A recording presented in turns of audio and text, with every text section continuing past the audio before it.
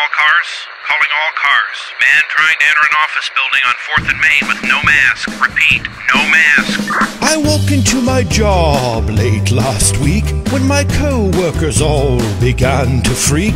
They started cursing and began to shout and said quite rudely as the boss threw me out. You need a mask, I need a COVID mask. a mask. COVID mask, It seemed a lot to ask. to wear a mask, to do a simple put task. on a mask, I need a COVID mask, made it mandatory almost every place that we can't be seen unless we hide our face. I can't even leave my humble abode without something covering my mouth and nose. we need a mask, We need a COVID mask. a. COVID mask, It seems a lot to to wear a mask, Can't even mow my grass. without a mask, without a COVID mask.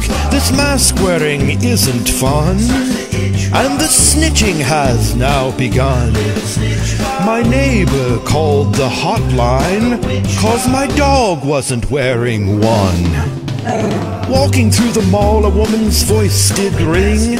Seemed troubled by just one thing. She pointed to the door, shook her fist, and said, What are you trying to do, you jerk? Make everybody sick? forgot his mask, Forgot my COVID his mask. COVID mask, Nobody gets a that pass. stupid mask, Can't even pump my gas without a mask, without a COVID mask.